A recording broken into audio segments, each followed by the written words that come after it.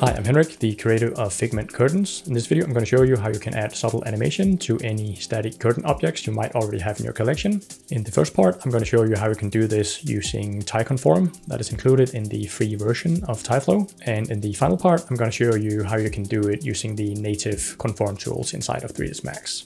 So first up, I need to import the Alembic files. So I'm going to go to import, navigate to the folder, and I'm just going to pick the strong version here hit OK.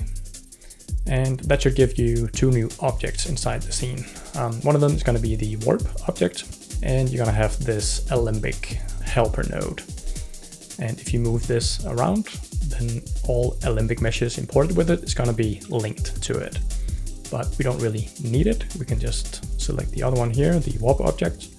I'm just gonna rename this so it's a bit easier to see what's going on and then select the left curtain so we can focus on that first and isolate. Okay, so one important thing you need to do is make sure that the warper mesh covers the static mesh that you wish to animate. All right, and now we need to select the static object. Gonna apply a tyConform modifier and pick the warper object and then I want to change the conform type to temporal. And finally, I'll change this interpolate face normals and set it to vertex normals instead. And now the static mesh should be moving along the surface of the animated mesh. And let's say that we want to use this part instead, we can simply take the mesh and move it, all the while making sure that we don't take it outside. Because if we do that then you're gonna get these artifacts because there's nothing here to really guide it. So this is just gonna interpolate from that edge and then outward. So let's undo that. And now we want to animate the second curtain as well. So I'm just gonna select the first warper shift move it to make a copy. Let's call this warper right and then isolate the relevant objects for this. Okay, now we need to apply the conform modifier to this mesh as well, but we already set it up, so I'll just select the left curtain, right click on the modifier, copy, and simply paste it in here. Now obviously we need to switch out the warper object, so remove the old one and pick the right one.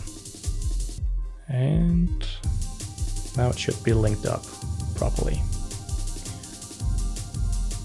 Okay, so now we should be able to hide the two warper objects.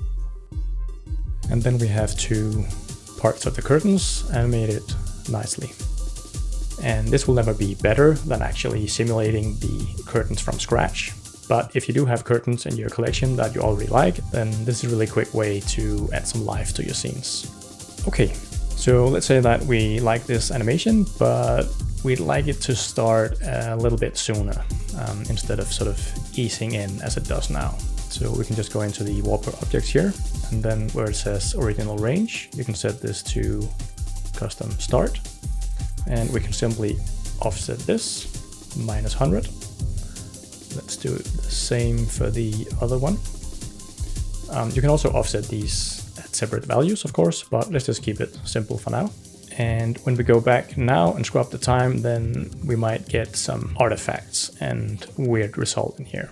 The reason for that is right now these objects are already animated from before frame zero, but the conform modifier in here is actually looking at frame zero. So we need to change this offset and hit the clear cache button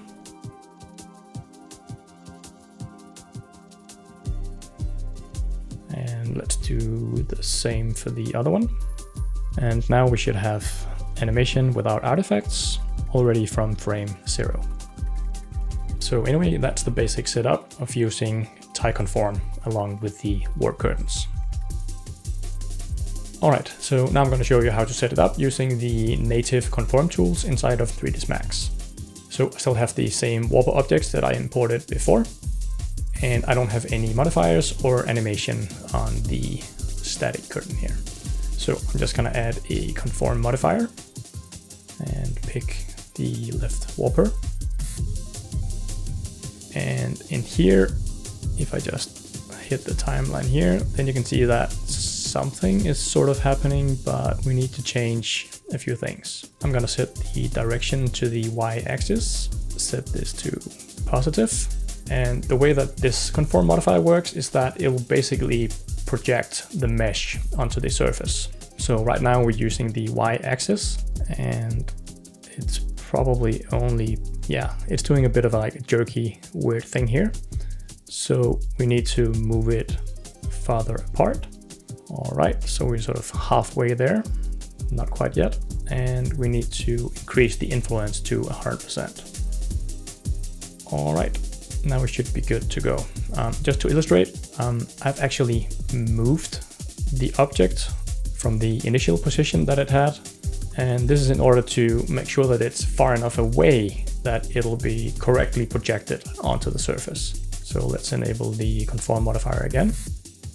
And let's say that I didn't move it far enough away, then you're gonna get these artifacts. So simply make sure that your hero mesh is moved far enough away from the warp object that it won't have any sort of intersections or penetrations. This way you should have a stable animation throughout. And let's just copy this and apply it to the right curtain as well.